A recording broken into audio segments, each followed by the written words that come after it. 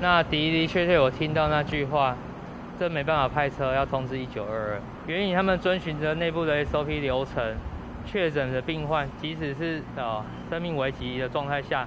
他们还是要找到卫生局或卫生相关单位，所以他们才有那句话。所以基本上的确那句话是遗漏在译文。那他们解释说，因为译文的东西主要是记录执行员跟我老婆的对话，所以当当班的 TV 的对话就没有再收录进去。呃，有关于我们那段这个这一句话，恩爸爸提到的这一句话哈，那其实都没有完呃没有去影响到我们后续救护派遣的这个流程。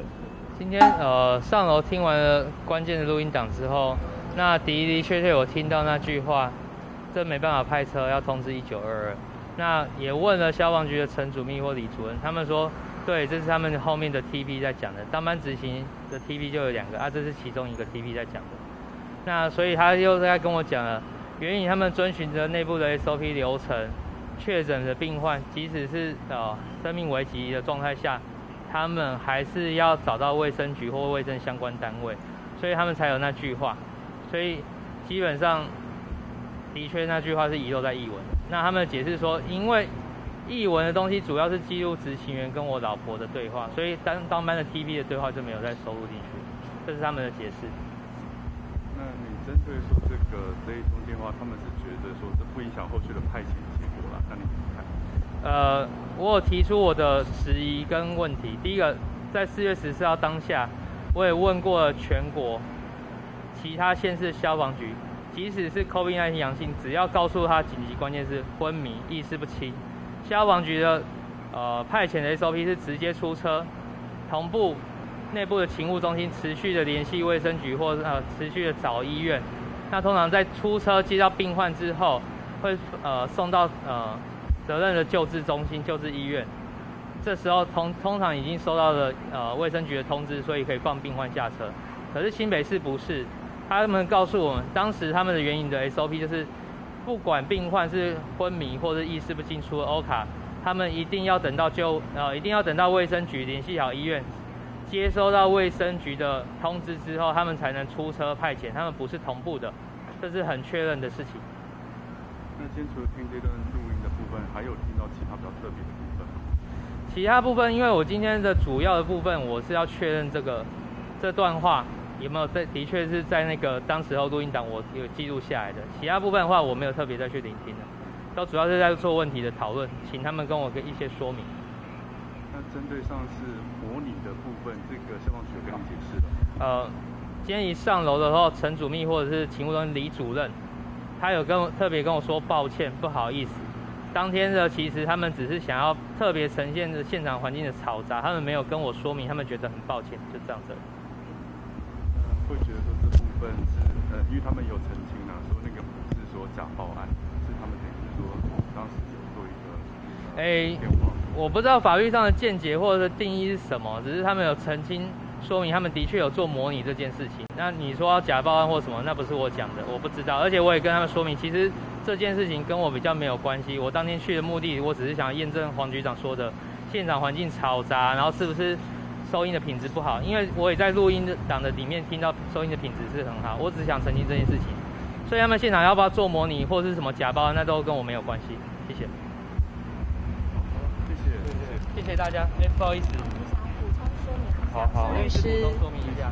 对，那呃早上我陪这个恩爸爸上去，那一开始消防局的法制人员有党律师，就是他们希望律师。不要在现场跟恩恩爸爸一起听录音。那最后我们沟通的结果，好，最后是我有陪同恩恩爸爸在现场，那确认到当时确实有这么一句，就是译文上面没有的内容。那首先我们要强调的是，恩恩爸爸在事发到现在主张的只有一件事，他就是想知道真相。那这件事情一直到现在，我们一直都还是维持我们的初衷。好，那。我们一直跟这个呃消防局的相关人员询，就是要求说，我们想要看到横向的通联记录。那么消防局所给出来的这个证明呢，是一个很粗略的表格。那这个表格没有任何的佐证，所以我们要求说，我们希望可以提供相关的电信记录，让我们去做比对。但是这个部分呢，就是消防局的说法，就是呃，目前已经全部的资料都已经交给检察官，所以以目前来讲是没有办法提供给我们的。那这个就跟当时消防局的给给恩恩爸爸的说法是，我们会全力协助，这两个说法是相互矛盾的。那再来就是说，前前几天消防消防局也委任律师，针对这个张姓前消防员，就是张姓网友的一个爆料事件，去提出呃刑事告诉。那这个部分啊，其实张姓网友的一个指在的内容，主要是两件事嘛，一个就是我们刚刚提到的这个呃模拟模拟报案的这个情况，以及呢恩恩爸爸上一次。上一次来这边听的录音的内容可能有遭到变造，主要是针对这两件事情。可是这两件事情跟恩恩爸爸一直要求要提供的卫生局跟消防局两者之间的横向通联其实是无关的。但是对于这些呃。横向的通信记录以及录音呢，到目前为止我们是都没有办法去接收到消防局任何的说明，所以这个部分我们希望能够呃跟大众去做一个一个澄清。嗯，对。恩恩爸爸在昨天上午十一点多，大概跟我们消防局联系，有表达要听取这录音档的需求，那所以我们也特别安排跟他联系，说在今天早上请他到局里面这边，再配合他来听录音档。好，那关于恩爸爸提到这个译文的一些内容的部分，呃，其实我们在之前就有清楚的跟大家表示说，这个译文的内容呢，是以我们受话方，就是派遣员跟恩恩妈妈双方通话的内容逐字来打成译文。好，所以在其他的这个跟通话双方的这个内容没有相关的，我们就没有进到译文里面去。那在这一段期间，我们也都主动邀请恩恩爸爸到消防局来听取录音档，跟这个译文可以来做比对。好，那上次呃恩恩爸爸第一次来听录音档之后呢，也没有表示说有什么问题。那我们也消防局也没有隐匿的这个情势。好，那之后如果说恩恩爸爸他有需要来听录音档的话呢，那我们也都会全力来配合恩恩爸爸来听取录音档。那再来就是，呃，有关于我们那一段这个这一句话，恩爸爸提到这一句话哈，那其实都没有完，呃，没有去影响到我们后续救护派遣的这个流程，大概是这样子。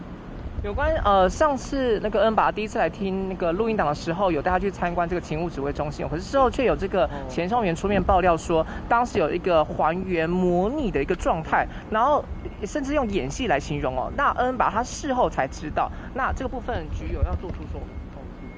哦，我们这边还是跟大家说明一下。那上次恩恩爸爸到我们消防局来的时候，我们带他到我们的指挥中心这边来看派遣员的作业模式。那对于外界有说到我们动员全局上下啊拨打大量的电话，然后进到一一九来制造假报案的这个情况，那我还是要跟大家说，其实我们也没有我们没有什么动员全局上下这样的状况。当天的情形大概是呃我们的指挥中心主任他负责接待恩恩爸爸，所以。他为了要让恩爸爸知道说大概指挥中心作业呃派遣员作业的模式，所以他有去请我们楼上有防疫派遣中心两位同仁，请他们拨打电话到一一九这边来做电话的进线。那这个电话进线的内容呢，也不是报案啊，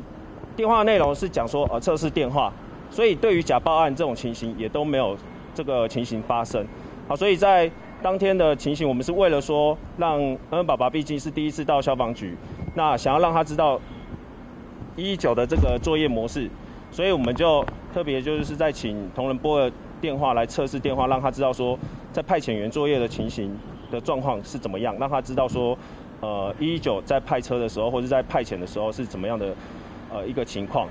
大概是这样的情形。那也要跟他呃呈现这状况的时候，有事前跟恩恩爸说会有这样一个模拟嘛？因为他说他完全不知情。应该是说他来的时候，我们负责接待人员大概有跟他提及说，这个是呃一一九派遣的情况啊，所以有大概当下有跟他做一个说明，大概是这样子。那可以针对那个等于是说没有办法拍摄这一段声音是单纯的背景音吗？那个前因后果大概怎么样？呃，基本上他其实是我们同仁，他是一个救护技术员，然后再提醒我们派遣员当下受理案件的派遣员，他提醒他，呃，要去确认有没有通报相关卫生单位的一个确诊的这个流程，所以才会有这句话的出现。嗯，好，谢谢，谢谢。